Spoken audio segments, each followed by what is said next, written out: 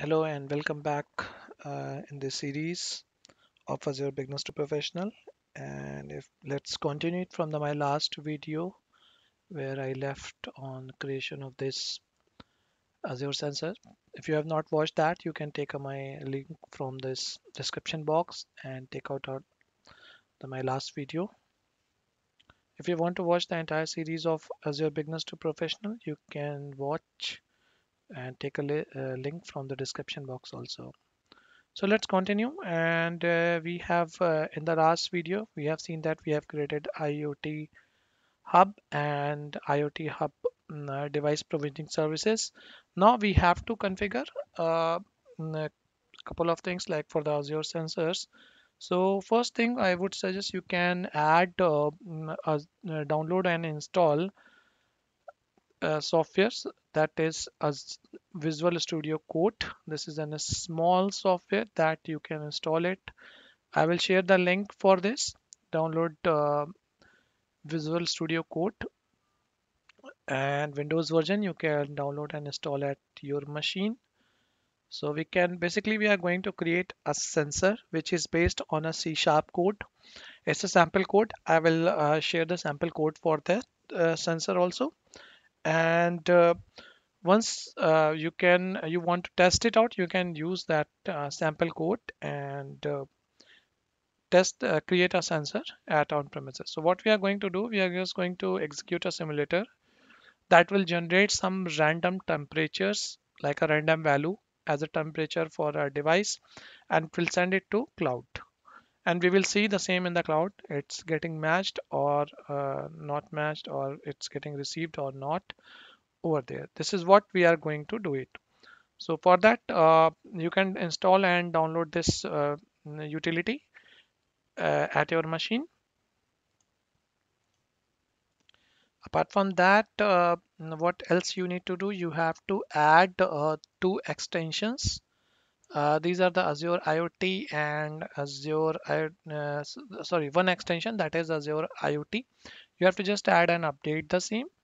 Uh, it's an Azure CLI uh, extension, which I'm going to add it here. So let me just quickly open my PowerShell and uh, add it, these two. So I will add these two commands also. in my description box so you can take it from there and let me just quickly copy and paste it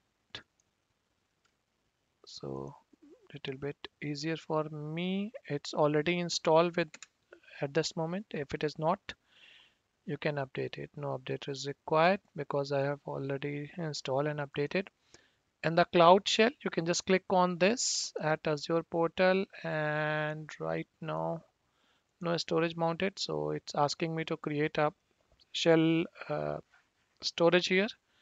It still take a few minutes to get it done i'm going to execute the same commands here also. So we can make sure it should be as a bash here.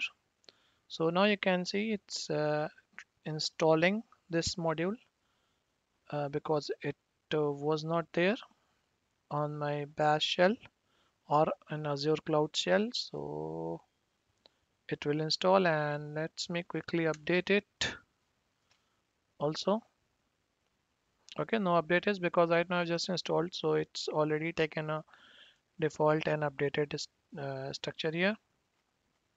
Okay so uh, these are the basic uh, two uh, IoT commandlets groups which we I have added here for Azure CLI and the PowerShell also I have added the same.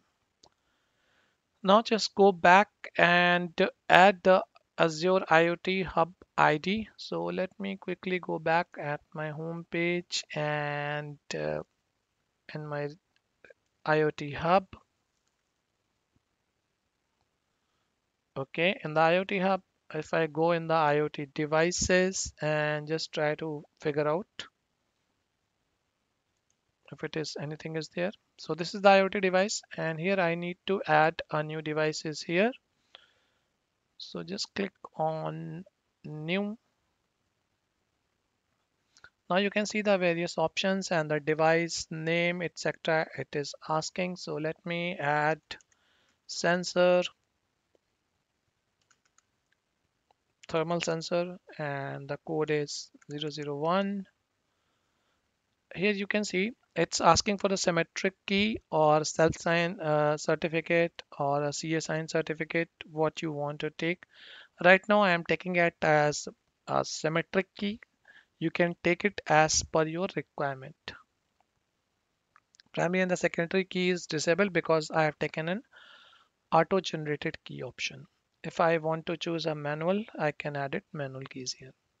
I'm taking it auto generated later on I will copy the same uh, device should be enabled to connect and no parent device. I don't want to keep any device as a parent one. If you have a device in the layer you can take it out a parent child relationship. Okay and then just click on save to get it done. It will again take uh, one or two more minutes to get it complete. Okay now the device sensor is ready what else we need right now. We have to collect the connection string. So i'm just clicking on this sensor thermal sensor and let me quickly copy the primary key. This is a key. You must have to keep it at uh, confidential. Okay let me just copy this here. I have copied the primary key. If I want I can also take it out the secondary key and copy it. I do not require this but still I just taking it out and the most important thing the primary connection string. So connection string is basically used to connect it. Once we uh, configure our sensor. So primary connection string I am taking it here and just copying it. So this one is most important thing that you have to use. So let's I just uh, copied this. Now what I have to do I have to create a simulator. Uh, I have taken out uh, some codes but I need to build an application base first and then accordingly I can uh, build up a sensor and sensor and then sensor testing. And let me just go back uh, with my studio code. So this is my studio code and I have one directory available here. There is a folder which is on C drive apps uh, dir so let me go on this directory and configure the some sensor configuration. Right now, I don't have uh, anything here. If you can see, nothing is there in the dir, nothing is in directory. First, I need to provision a sample.NET application. So let me quickly show you how we can configure it. Just make directory and that is test device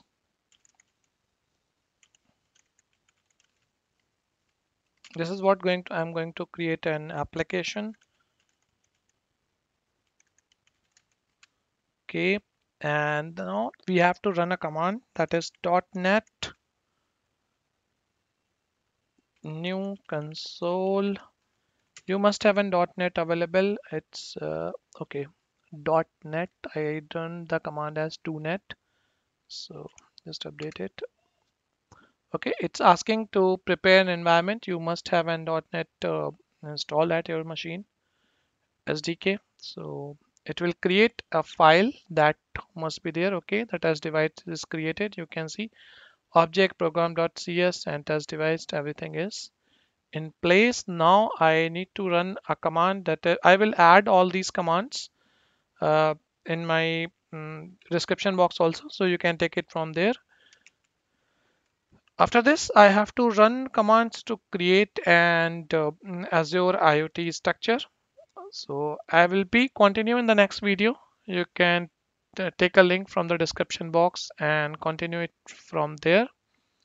If you want to watch the entire series, you can also watch it from the description box playlist link. So let's connect in the next video and continue it on this.